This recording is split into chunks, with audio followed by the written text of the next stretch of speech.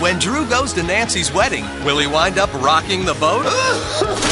Drew Carey, Wednesday on ABC. Frasier wants a little time alone. That's absurd. But Niles needs a little brotherly me and otherly love. A reunion of star-crossed lovers rekindles passions, and Tamara makes Mitch a passionate offer he can't refuse.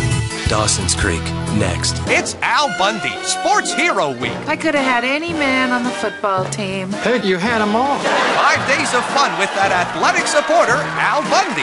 42 skulls. One terrifying mystery. And the only man who knows the truth I know what you did. may be the next victim. It must end. All New Millennium. Friday on Fox. Jack and Susan, at last. That is great. But will it last? Suddenly Susan, Dan Aykroyd, Let's kick some ass. Eddie Murphy, and Jamie Lee Curtis. Yeah? Trading Places. Saturday at 9 on WGN.